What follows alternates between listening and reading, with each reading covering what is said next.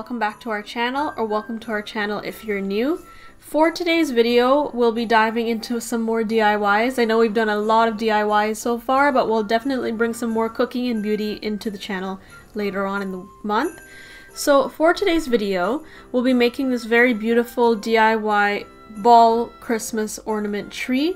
Now this is a really great tree to have at your front door or as a centerpiece even, depending on if you're having parties and things like that. So it's a really great piece to add to maybe an, a corner of the house that needs some Christmas love or just as something to give as a gift. It can be used for a lot of things. So we made this with a ton of materials that we had lying around the house. If you'd like to see how to make this, then please keep on watching. Alright, so as per usual, we're going to show you all the supplies you need to get started. So we're first going to start off with, of course, you need Christmas ornaments. So we had a ton of leftover Christmas ornaments that we weren't going to use again. They're really like plain sort of looking ones, so we took a lot of the red and gold ones. We also have some lights, a old tree skirt, preferably one that you're okay with kind of destroying or playing around with. You're also going to need some Bristol board. We have some red to match with the ornaments we have, some styrofoam. You'll also need scissors and of course a glue gun. Okay, so you may be wondering already, why are we using Bristol board? Now, the Bristol board is going to act as a foundation for our Christmas tree. So it's going to be like the actual Christmas tree and we're just sticking the balls on top. Now you preferably want to get a piece of Bristol board that is the same color as the balls that you're using. You'll also need to turn it up into a spiral, somewhat of like a cone, and you're going to glue the ends just so that it doesn't come apart. Now you want to really glue the ends because if this does come apart, everything falls apart. So you want to make sure that everything is glued securely down. After you've securely glued this Bristol board together, you're going to cut off the end so that you have a flat surface to stick down your piece of Bristol board. And you want to stick this down on a surface. The surface that we're using to stick ours down is going to be some styrofoam. Now we had this styrofoam we were going to put in the recycling, but we decided to reuse it. So we're just gluing the rim of the cone that we made, and you're going to stick this straight onto the styrofoam or whatever surface that you're going to use. Now you want to really securely fasten this down and put pressure on it just so that it stays in place. Once your surface is dry, you're going to start placing your ornaments onto your surface. Now, this styrofoam surface was pretty sturdy and we did not put much of the hot glue on the styrofoam because it could melt through. We did, however, put it a lot on the Bristol board. That's why the Bristol board is there. So as you can see, you're just going to place some glue onto the inside of the ball and you're going to stick it straight on the tree. Now, we of course sped up this process because this takes some time, but that's not always a bad thing. This is a really good activity, especially to do with kids, and it's just a really nice fun Christmas activity. So as you can see, we're just adding on some of the balls at the top as well, and we're just going to work our way to the top of the tree. Alright, so this is what the tree looks like as is. Now, you may be thinking, okay, it doesn't exactly look like a tree as yet. Well, it won't until you start adding more stuff at the bottom to bring in that wideness of a cone shape, therefore a Christmas tree. So you're just going to finish up the top area and then we're going to go back to the bottom and then work up again. So we're taking some of these little um, floral pieces, you could say, some of these Christmas floral pieces, and we're going to add them at the bottom where the styrofoam is because we want to try and hide the styrofoam. You'll see what we mean later on when we start to place everything together. But for this part, you're gonna use any type of ornaments that you want. You can even use ribbons to hide the styrofoam or whatever surface you have.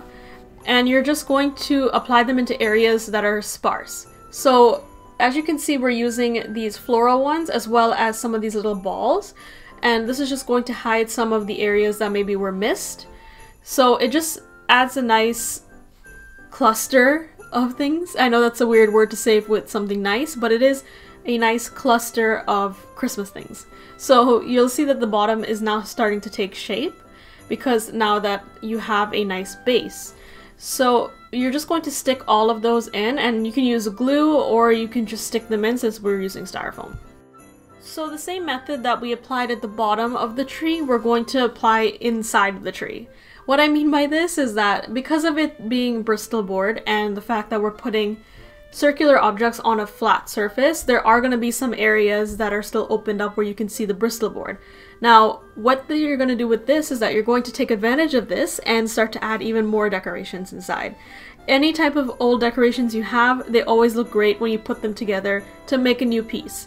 So that's what we're doing right now. So we're just going to stick them into all of the areas. We're taking some glue on the stem and just sticking it straight in and they're really sturdy, like it's not going to move at all, especially because it is hot glue. So we're just sticking this in the areas that are sparse just so that everything looks put together and it just looks like more of a cohesive tree, almost as if we didn't have anything inside and it was just a lot of Christmas balls put together to make a tree. Now that we have enough around the tree, we're going to move on to the top. Now, as you can see, we're just adding a little bit of extra stuff, so like pine cones and things like that, just to cover some additional spaces. Because, of course, being the top of the tree, you need a topper for the tree. So before we add the topper, you want to make sure everything around it is nice and secure and there's not too many like open spaces, just as if you were doing a real tree, because you don't like big spaces of open emptiness on a regular Christmas tree, so for this one it's the same principle. So this is what the tree looks like on its own, and now we're going to apply our topper. So we're just going to pinch the Bristol board and we're going to put some glue inside just so that it has some stickiness to it, and then you're going to see if a topper can fit. Now we got this really cheap topper at the dollar store, and it's a really beautiful topper, and it works well for this piece, so that's why we used it. So we're just fixing some little areas. You're gonna have to fix here and there as you go. So we're just fixing some areas, and then we're going to stick our topper on top of our tree. Now this will definitely not budge because of the way we stuck this on. And we also added a couple more other things around the top of the tree before we moved on. So this is what the tree completed looks like. As you can see, you can't see much of the Bristol board because of the fact that the Bristol board is the same color as the ornaments we used. We added some little fake berries on the topper just so that the topper didn't have any of the Bristol board showing. This is the full final product before we move on to the rest of it.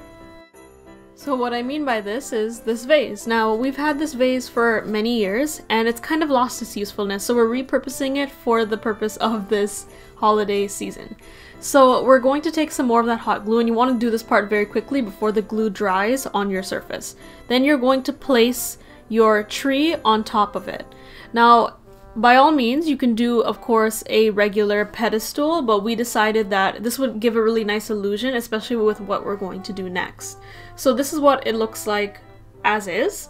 Now, because the styrofoam is still showing, of course, we are now taking the tree skirt and we're going to place it around our newly made Christmas tree. Now, what we're doing first is that we're going to put thumbtacks on the areas that need to stay down in order for us to pull it around our piece. So you're just sticking those down and then you're you can place it in any way or shape or form that you'd like. Now I know what you may be thinking, there probably was an easier way for us to do this. We could just put it on a pedestal or something.